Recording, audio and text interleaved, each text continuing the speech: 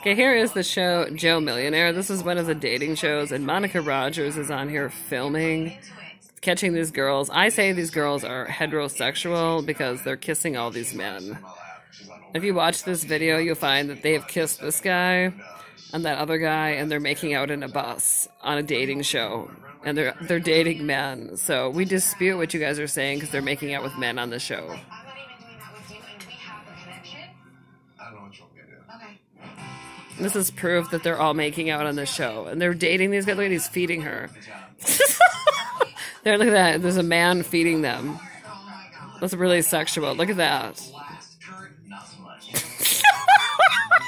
And this is a dating show on national television called Joe Millionaire. And they make out with men and they're women. And then they cover it up, and Monica Rodgers is filming it. Respect, and obviously she doesn't. I don't hold her to anything anymore, but this is not for me.